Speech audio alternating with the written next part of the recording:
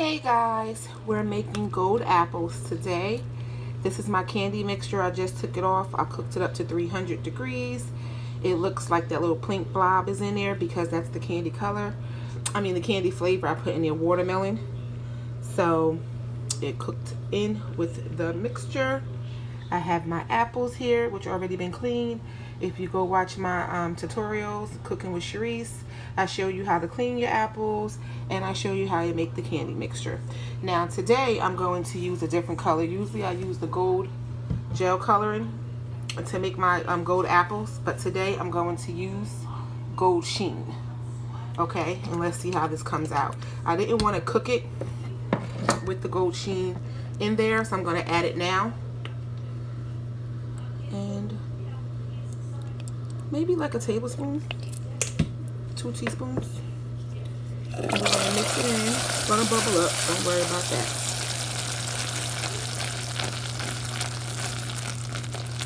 Just wanna make sure I put in enough to give it that nice gold color.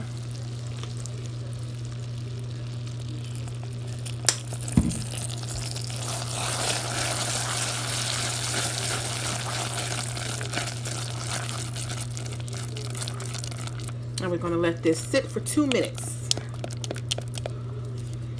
Because you don't want the bubbles on your apples. So now that that's mixed in, we're going to let it cool down for a second. Okay.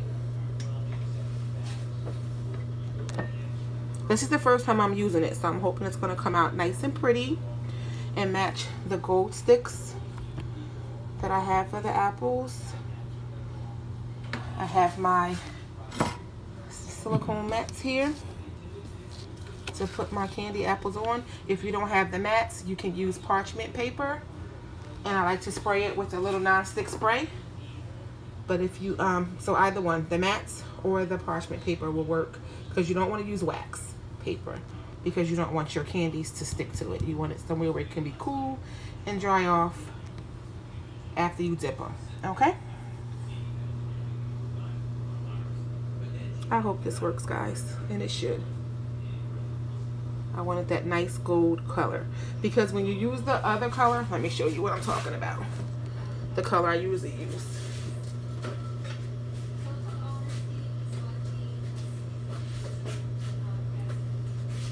I usually use this one, the gold full coloring. So today is the sheen. And we're gonna see what it do.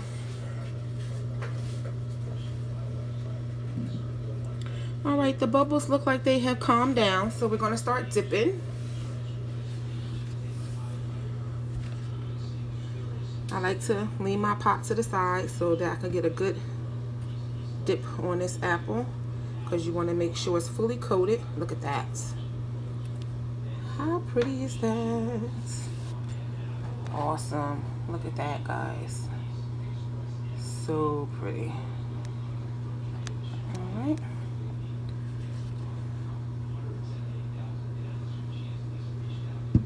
You just want to dip.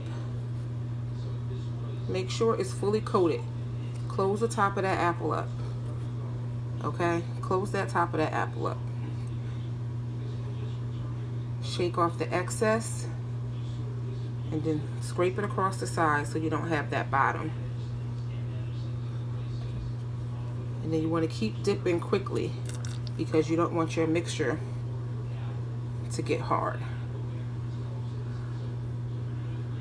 shake it off, scrape it across the bottom, on to the next apple.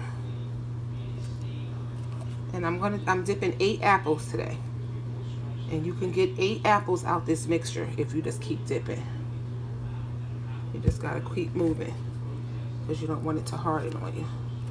So just keep dipping.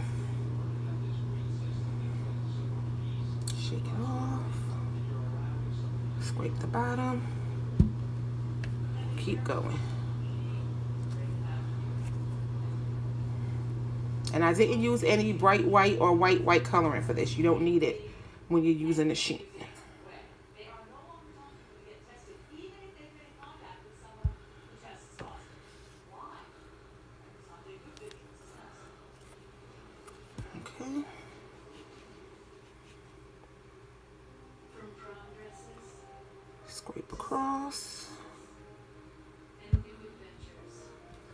Our last apple.